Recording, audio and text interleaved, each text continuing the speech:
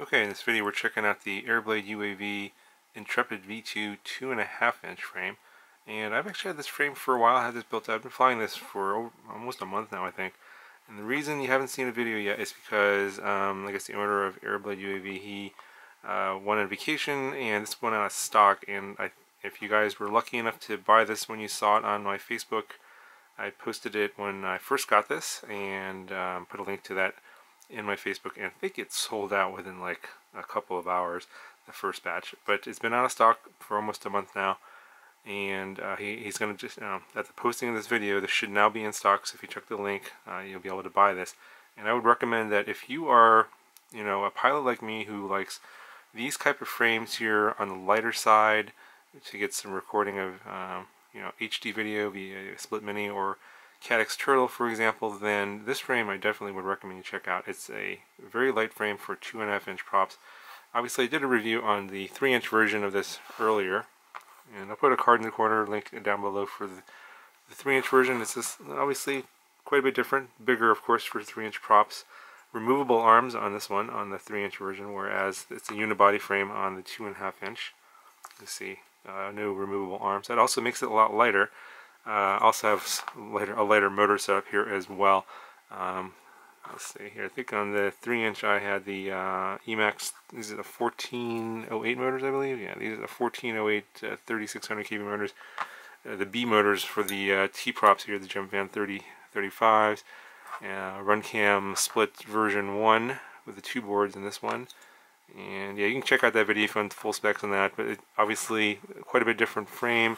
You can actually carry a GoPro Session on here with this little camera mounting area here, but the big difference here is the weight. I just want to show you how much of a difference this makes here in terms of why I like the 2.5 inch version better in terms of uh, the kind of flight characteristics. And if you look at the old version, or I it's the 3 inch version, nothing wrong with the 3 inch version. On this setup, I like the way it flew. It was, uh, you know, solid. Flew it on, on 4S. Um, you know, it flew very, very, very nicely, but you know, it's uh, it's a heavier setup, and so it's going to be faster. Uh, you're going to need to fly this in a little bit bigger areas, that kind of thing. 100 and almost 175 grams for the setup here without the battery. And uh, when you go to the two and a half inch setup, it's a significant difference here. Now we're down to 103 grams, so we're, like, we're shaving like 55% off, or it's like 45% off of the weight, total weight compared to the 3 inch.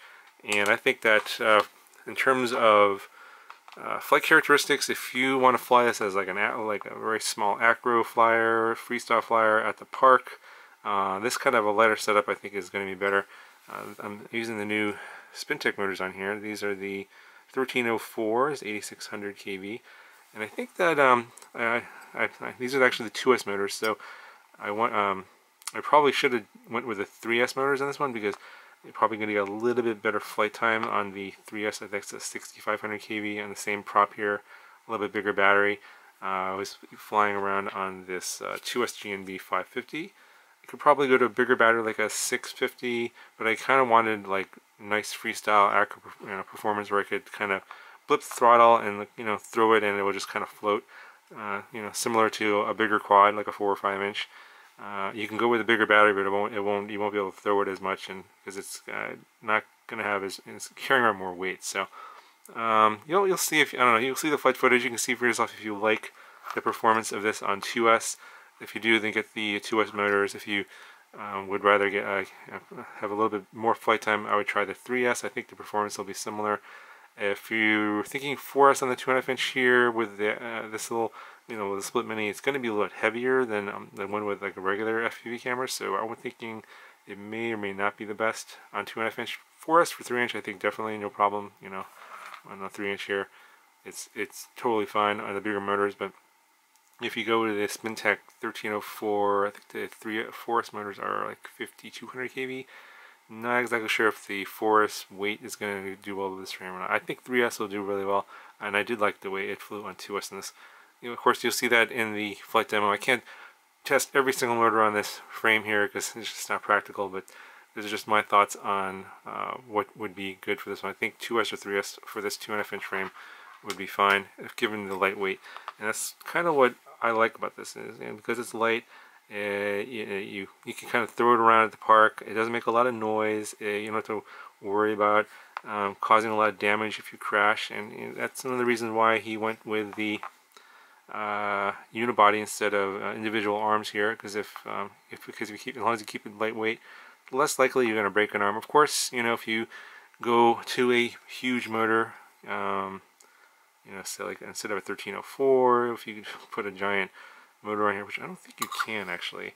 I was thinking, well, you know, if you put a really big motor on here, um, it's going to be a problem. But I think he limited this to a 9 millimeter hole pattern. So I think the biggest motor you can put on here is going to be like a 1304 or something like that. If you go to, like, if you wanted to put a 1306 or a 1407, those have 12 millimeter hole patterns for the motor, so those won't go on here anyway. So that's a good thing they did that because on a, on a unibody like this, if you put a really heavy motor on here on the end of the arm, more mass, of course, heavier, more likely that you're going to snap an arm. So uh, if you keep it to in these smaller uh, motors with the 9 millimeter hole pattern, you're limited to like the 1100 series, uh, 1200 series, 1300 series.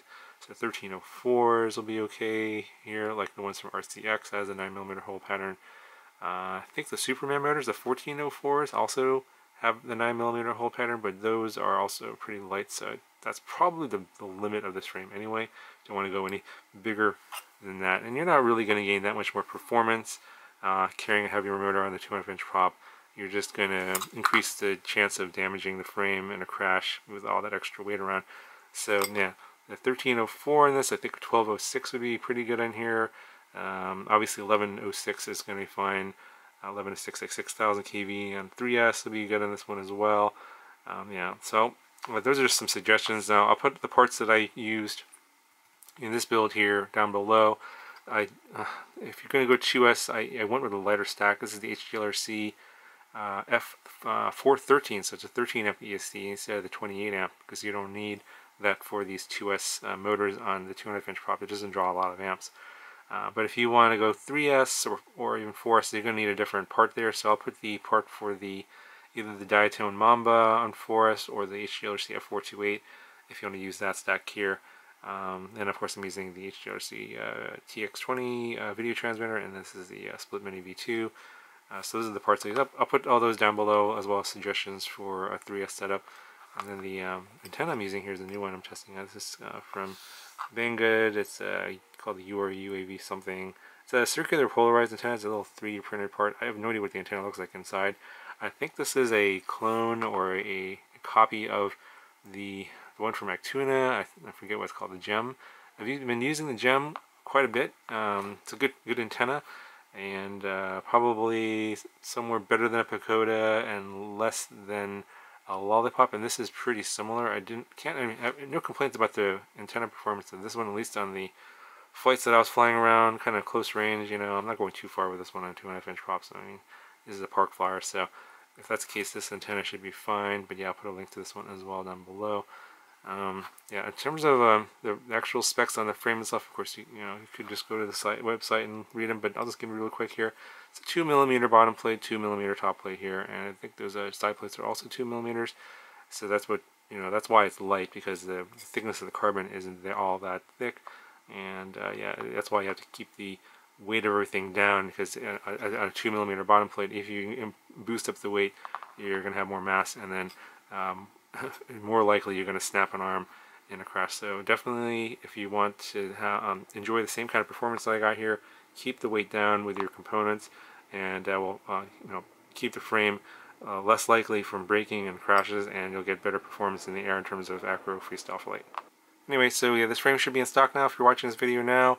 Um, not exactly sure how big the bat second batch of these frames are uh, in terms of the numbers, so if you're interested in this frame, I would definitely uh, jump on it and purchase one. I think it's like $26 and that's not a bad price at all. Um, and uh, yeah, definitely if you want to do, you know, HD recording, no props in view, lighter setup here, uh, um, definitely would recommend this stream. I like it a lot. So anyway, go ahead and show you some flight demo footage. If you have any questions, let me know, and I'll talk to you guys in the next one.